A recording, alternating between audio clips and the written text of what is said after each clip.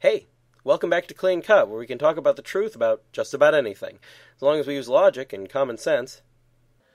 This season, we're discussing issues that I've personally wrestled with with regard to the faith. And today we'll discuss an issue that I struggled with very recently.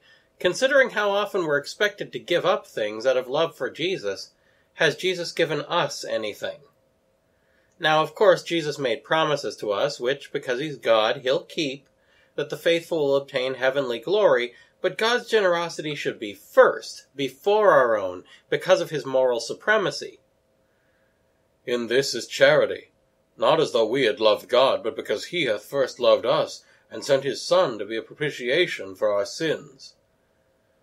1 John 4:10 Now, according to St. John, Jesus the Son, the second person of the Trinity, was the one who created the universe.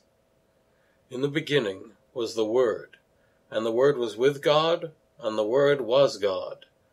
All things were made by him, and without him was made nothing that was made. And the Word was made flesh, and dwelt among us. John 1 1 3 and 14a. So, in a certain sense, this could be seen as a major gift.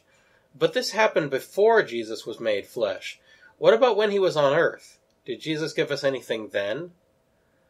The sacrifice of Jesus on the cross and what precisely it accomplishes is a topic I've covered before this in episode 370 on the redemption. Check the video description for the numbered episode list.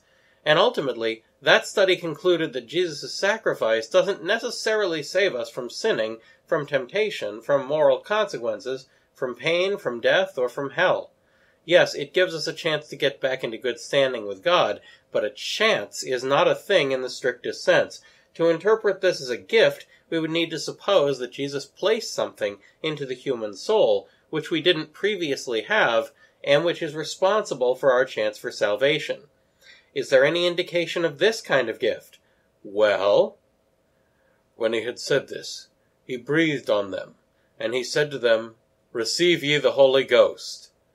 John 20, 22.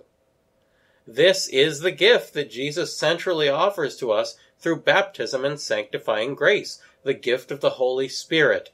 And Thomistic theological tradition holds that the Holy Spirit is in fact the ultimate gift. I answer that gift, taken personally in God, is the proper name of the Holy Ghost. Summa Theologica Part 1, Question 38, Article 2.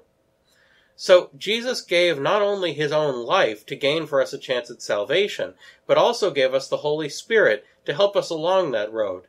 The Holy Spirit is the ultimate gift, and we didn't have him within us before Jesus gave him to us. Next, what ultimately is the fulfillment of all desire? That's all for now, so keep asking questions, and thanks for watching.